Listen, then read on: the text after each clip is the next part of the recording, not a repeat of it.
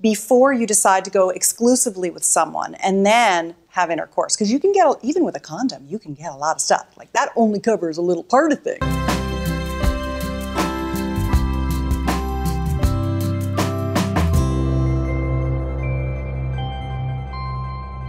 So, when two people first start dating, what's the best way to have the conversation about safe sex? Obviously, it's imperative, especially in the times that we live in. And um, you hear a lot of scary news about STDs on the rise and that they're drug resistant. And it's enough to make you maybe stay in a marriage where you're not having sex.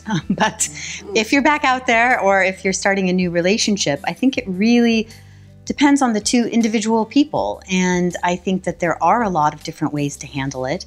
Um, you, you hope that if you are individual as couples, I think that some couples find it very easy to speak with one another quite intimately right away. I think that there can be shame from past relationships. I think that, you know, you want, when your hormones are fired up and you're excited to have sex with someone new, you often um, want to please them and you want to be pleasing.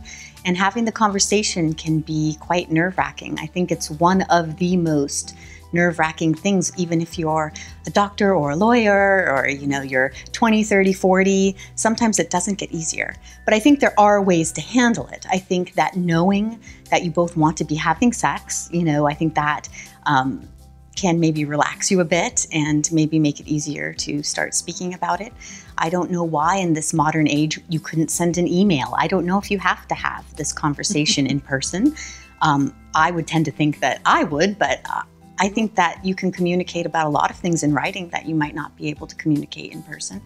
And I think that the point is to have it and to have it truthfully and to know that once you've had it, um, then the fun's going to begin it's imperative in this day and age to talk about safe sex. And my clients are coming out of long term marriages often and back into the uh, dating world haven't had that conversation maybe ever. So it's all new territory. And to come at it in an honest way, uh, adult way, the best way you can, right. you know, just come from where you are. And, and, and then once you've overcome this um, anxiety provoking conversation, you get to talk about condoms. And yes. often women are saying these days that men are leaving it to them. That they are the ones that are expected to not only understand condom and condom purchasing, but also make the purchases. Um, I know that in my industry, obviously, I have a lot of experience about condoms, and the biggest thing um, I find is that people aren't taught how to choose condoms. They know that they're supposed to use condoms, but then the first experience they ever have with a condom, which is likely a free condom from a clinic or a high school or a bar, is not a high quality condom, nor is it a condom that necessarily fits them.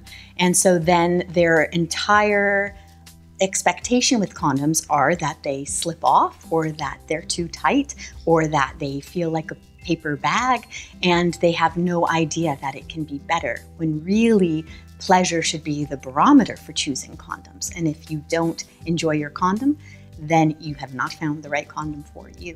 Mm-hmm. I, have a, I have a lot of advice on my website about how to talk about your sexual history with a possible sex partner, uh, to talk about what your personal boundaries are. Uh, and especially for women, our boundaries change every time we make love with someone. So, you know, hey, we're going to go out afterward, and uh, I don't want you to mess up my hair and my makeup because we're going to go right to dinner. or you can trash me because we're just going to go for it. You know, like there's a lot of things that you can communicate uh, with a potential partner. So, understanding what your sexual boundaries are, understanding what your safe sex plan is. For example, uh, you may have the kind of a safe sex plan where you don't have intercourse or oral, no fluid exchange beyond kissing, with a partner until you're exclusive. So, no lips and mouth here, just here. And uh, that's a really safe way to have a lot of sex partners if you're dating around before you decide to go exclusively with someone and then have intercourse because you can get even with a condom you can get a lot of stuff like that only covers a little part of things I right i love what you just said actually and that's such an important part it's not just a conversation about do you have herpes or who was your last partner. That's your sexual it's an history. entire conversation around what pleases you, Yeah. what makes you feel safe, what maybe you don't want to do. And when you open it up to that entire conversation, I think that that's incredibly hot. You know, that reminds me of uh, long time ago, 40 something years ago, I was a celibate monk. And I started my career as a relationship expert first by teaching spiritual sex. And having been celibate for nine years, uh, after being very sexually active as a teenager, I was now making up for lost time. So I would travel around meeting women and I would explain, you know, I'm making up for lost time, and also I've been a monk, and teach me about your body. Uh, and I had all these women telling me what they liked and what they didn't like, and show me things, and then I could teach a whole course based on that. and I wrote my book Mars Venus in the Bedroom. But that was my first beginning, which was teaching men what women really like and what women understanding what men really like and opening up the conversation so we can talk about it. It's most people just there's so much shame around it, embarrassment around it, of saying the wrong thing or whatever.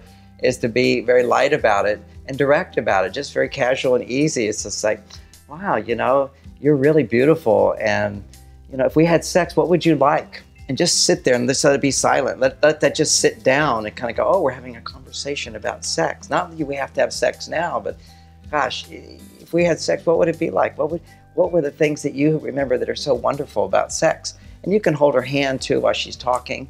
Just uh, you know, holding her hand. I used to read women's palms as kind of a nice thing.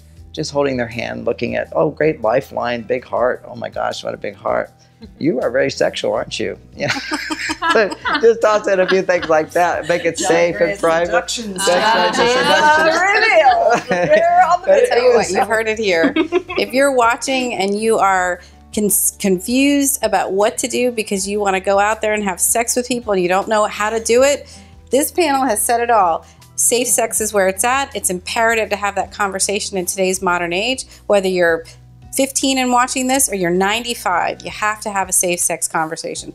Lucky Bloke has lots of options. Mars and Venus on the Bedroom gives lots of advice. These guys have great advice too, so check it out.